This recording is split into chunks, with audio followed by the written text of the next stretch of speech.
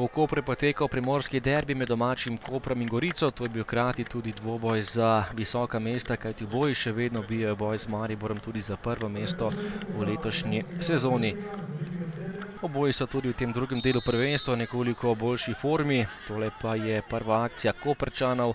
Poskušal je Galešič po prostem strelu, vendar nekoliko previsoko za vratarja Kordaza. Domača ekipa tekmo pričela bolje, tole je že naslednja akcija in nova priložnost za Koprčane, podaja pred vrata, na koncu pa je Kordas obranil strel Štromajerja. Še en strel mimo gola Koprčanov, potem pa že prva akcija Novogoričanov, podaja z leve, na koncu pa so nogometaši Gorice zgrešili žogo, poskušal je sicer Lapadula, ni bil uspešen. Galešič je poskušal z novim strelom odaleč in spet na pravem mestu. Kordas, ki pravega dela tokrat ni imel in potem še zadnja akcija prvega polčasa že v sodniškem podaljšku. Prosti strel za Koper, odaleč Denis Halilovič, a tokrat je žoga končala visoko čez gol. V drugem delu prva akcija tekme že v drugi minuti nadaljevanja.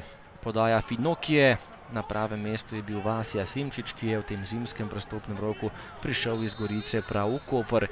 Še en prosti strel za Koper, podaja Galešiča, ampak na pravem mestu Kordas, ki je prestregel tole podajo. Prišla je akcija Kopra, potem pa je izgubljena žoga in Goričani so žogo vrnili proti svojemu vratarju. Takole pa je glavni sodnik tole ocenil kot indirektni prosti strel in lepo priložnost za domače nogometaše.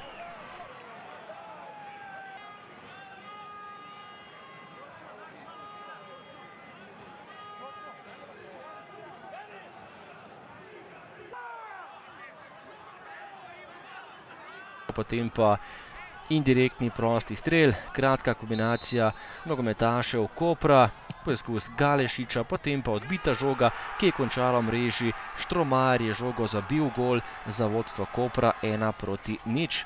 Tekla je 74. minuta in vodstvo domačih Kanarčkov, takole brez moči Kordas za vodstvo domačega Kopra.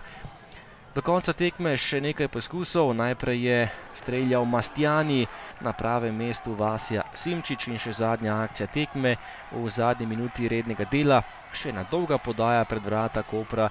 Tudi tokrat je bil Mastjani tisti, ki je meril mimo gola. Na koncu pa zmaga Koprčanov. Koper je zmagal zdaj na drugem mestu, le tri točke za vodilnim Mariborom.